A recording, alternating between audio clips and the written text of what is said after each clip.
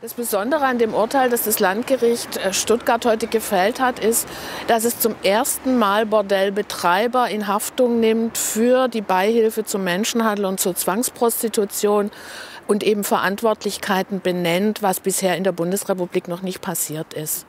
Der Stuttgarter Prozess hat die ganze Palette des Rotlichtmilieus inklusive des Betrugs an den Investoren aufgeblättert. Es wurden geschädigte Frauen gehört, es wurden Zuhälter noch einmal gehört, es wurden die Investoren, die um ihr Geld gebracht worden sind, um in die Paradise Bordellkette zu investieren, gehört.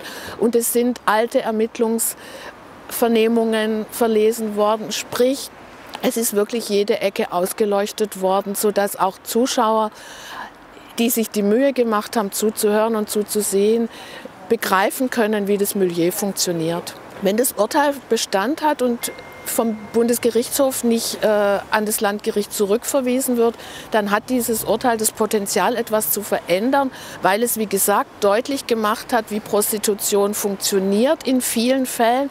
Es hat mit der Mehr von der sauberen Prostitution, die nach dem Prostitutionsgesetz so in aller Munde war, aufgeräumt. Und niemand kann mehr sagen, er wisse nicht, was in Bordellen passiert. Vor dem Hintergrund, dass 80 Prozent der Prostituierten in Deutschland aus Osteuropa kommen, sich diesen Beruf nicht aus Neigung, sondern aus wirtschaftlicher Not ausgesucht haben, ist einfach ganz klar, ein Großteil der Frauen, die in deutschen Bordellen arbeitet, tut das nicht freiwillig. Und es gibt sowieso Untersuchungen, die sagen, dass Prostitution von den Frauen als permanente Vergewaltigung empfunden wird.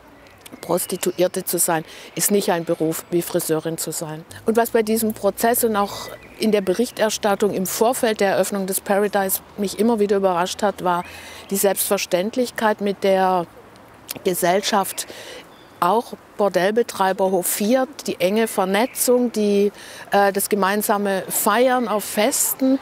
Es gibt offenbar kein Bewusstsein dafür, dass in der Prostitution Frauen wirklich Ware sind. Und es nimmt einfach zu auch, dass man nach einer Abi-Feier noch mal kurz ins Bordell fährt. Betriebsabschlüsse erfolgreiche werden im Bordell gefeiert und auch Fußballereignisse werden im Bordell gefeiert. Und diese Selbstverständlichkeit, mit der hofft, räumt hoffentlich dieses Urteil auf, weil es hinter die Kulissen geguckt hat.